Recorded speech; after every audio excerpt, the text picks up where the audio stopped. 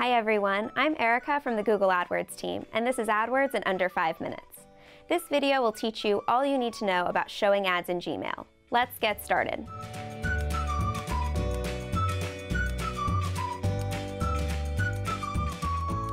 Sign in to your AdWords account at adwords.google.com and create a Display Network only campaign by selecting No Marketing Objective, and then All Features as your campaign subtype. Fill in the rest of your campaign settings as you would for a normal display campaign. It's best to create a campaign and ad group for Gmail ads only.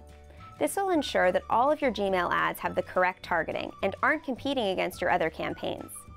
When creating your ad group, select Use a different targeting method. When asked how to target your ads, select Placements from the dropdown.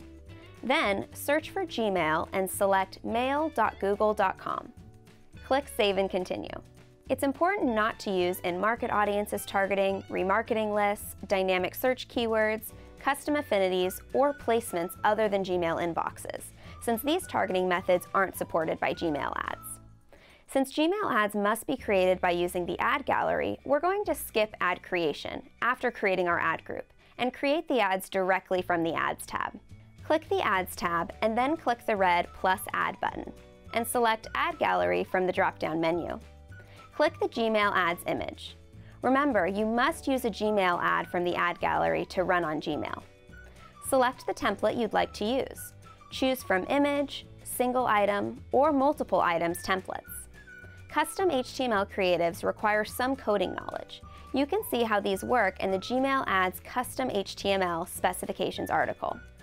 In this case, we'll select Gmail Image Template Enter an ad name, display URL, and a landing page URL. Note that static tracking URLs can be used, but impression pixels and dynamic tracking URLs are not permitted for landing page URLs. Upload a logo with a max size of 144 by 144 pixels. The logo image will be used in the collapsed ad. Enter the name of your advertiser next. This must be the domain or recognized name of your advertiser, and under the character limit of 15 characters. Next, enter the subject, which is the title of your collapsed ad. The subject can have up to 25 characters. Try including an offer, percentage discount, or compelling announcement. Enter your description.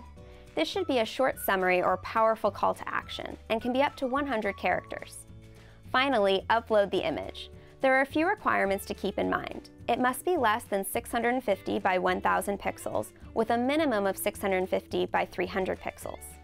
JavaScript, style sheets, Flash, HTML5, audio, iframes, and GIFs are not allowed. Once everything looks good, check the ad preview. If it looks correct, click Save. And that's it. Let's wrap up with a few important things to remember when setting up your Gmail ads campaign. First, to run ads in Gmail, you must use a Gmail ads template from the ad gallery. Other ads will not work. Second, when creating ads to show in Gmail, it's important to remember that this will be your main targeting method. You can target topics, demographics, interests, and keywords as you would in your display campaigns. However, it's best to avoid other targeting methods.